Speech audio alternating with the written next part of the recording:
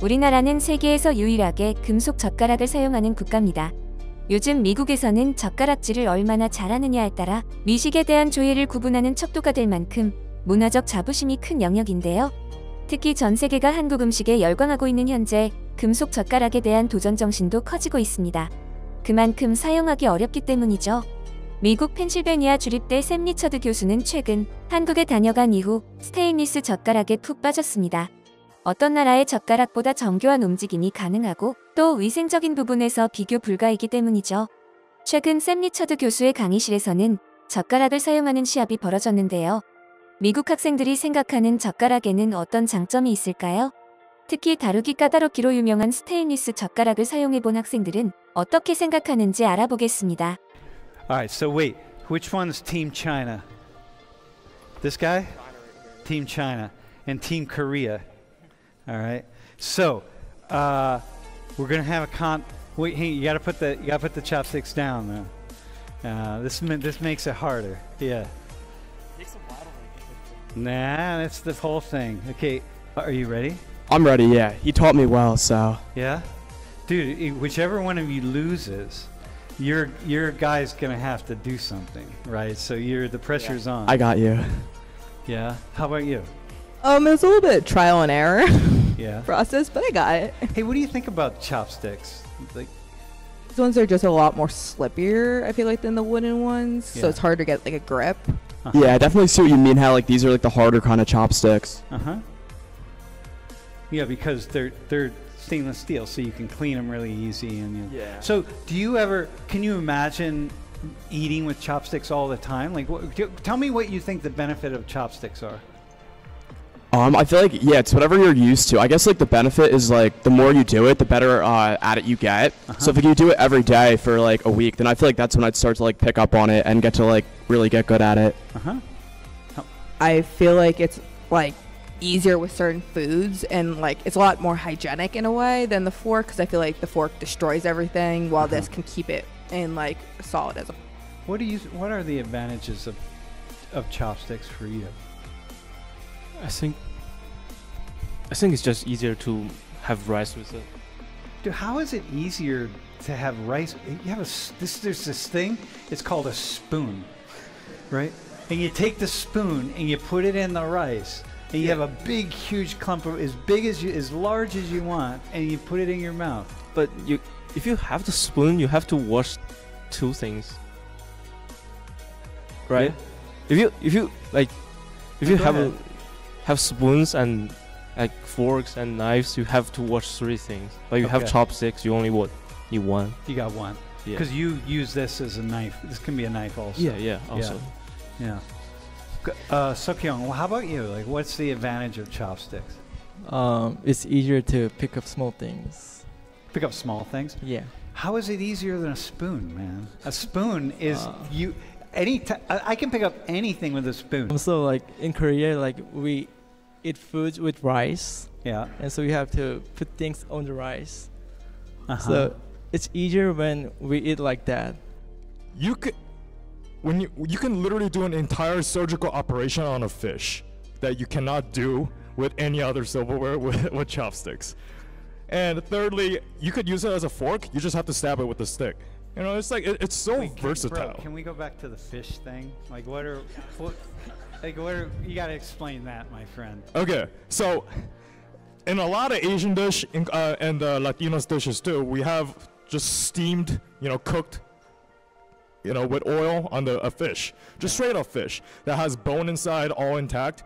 And what we use chopsticks with is we pick out the bones inside within, Yeah, and then we also uh, segregate the skins off of the bones and the muscles and like other accessories that is you know intact within the fish. So yeah, you're literally doing surgery on the fish So, for food.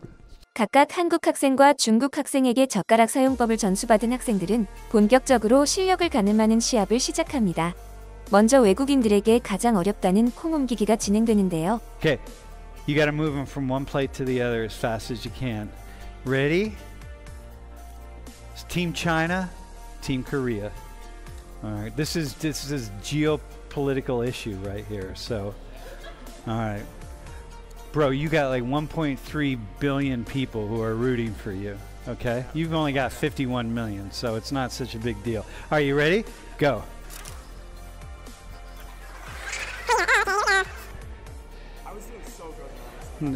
Use two hands on them, my friend. Start over. Start over. Like get yourself, get- yourself. No, you got. No, you can't use two hands. You got it. You got it. Whoa, Team Korea is killing it. Whoa, hang on. You got to wear the BTS hat. Yeah, yeah. No, actually, bro, you need the BTS hat. That'll help you out. Yeah. Yeah. BTS is behind you all the way, man. I can hear him singing. Okay, hold on. Hold. No, no, no. You can't. You can't. I'm taking the hat off now. You can't do that. It's one hand. Come on, Mackenzie. You got this. You got this.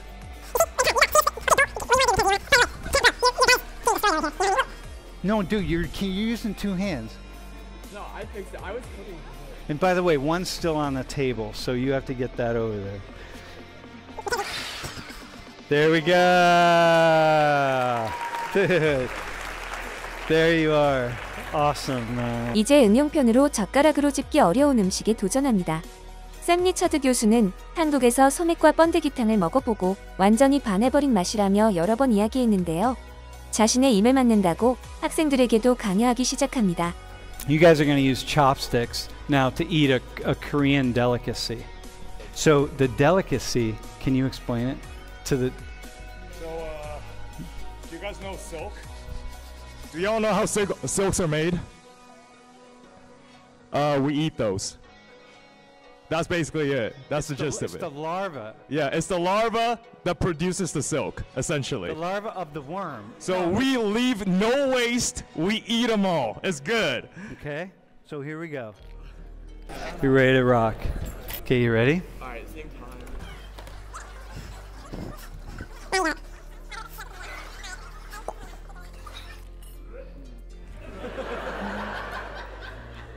How about it? It's, it's not bad, right?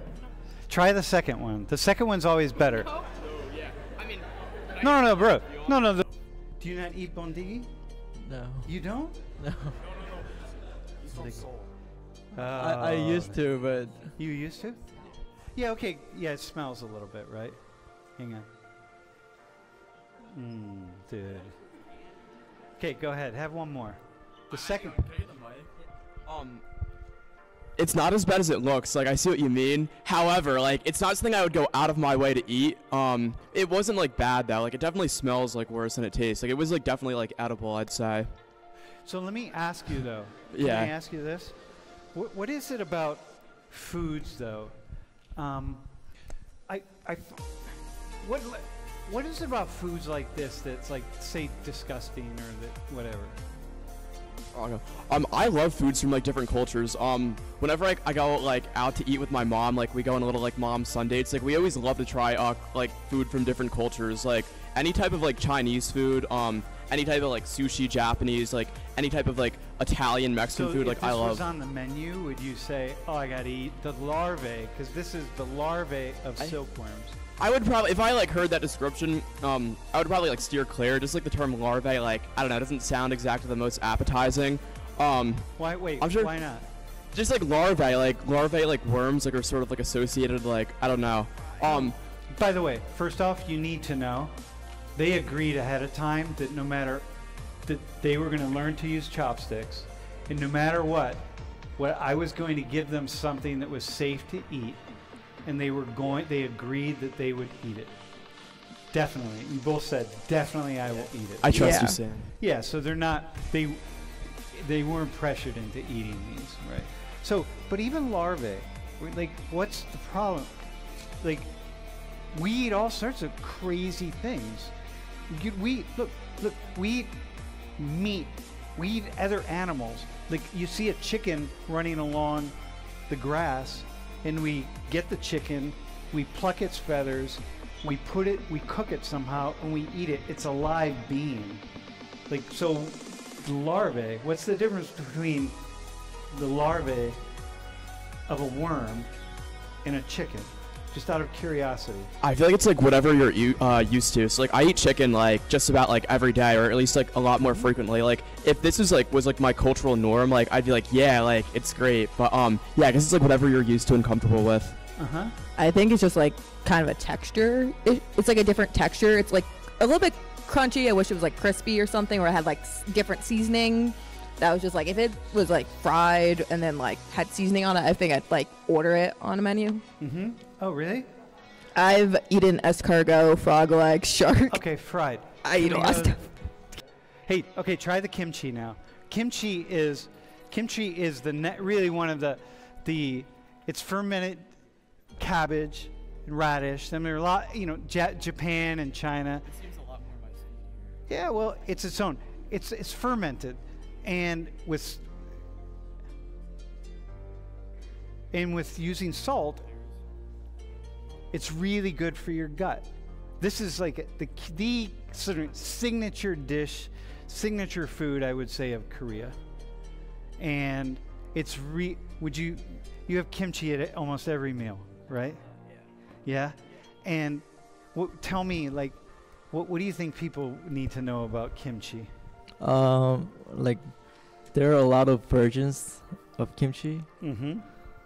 Um, and some people actually make kimchi with everything. Yeah, with every everything. You Yeah. can make it with almost anything. Yeah. any vegetable, any whatever. And but it really creates beneficial like microorganisms for the gut to help you digest food and move forward. What do you think? I thought that was great, uh, especially after eating ants. Like I really Eating enjoyed ants and that. Worm larvae? Yeah. Um, it was a little bit spicy. I tend to like spicy things. It was a little bit like actually over my spice level, but I still thought it was solid. Like that's something I would eat voluntarily. Yeah. Dude, awesome, man. How about have you had kimchi before? I've had it before for like with Korean dishes, and I know many people who are Korean or they just eat that, and I like anything that's like that spicy and like pickled. Uh-huh. Seen that. I would definitely eat with like a poke bowl or like with Oh, yeah. rice for sure. Yeah, totally. Now, kimchi is just an essential dish. It's very much part of the of central to Korean culture.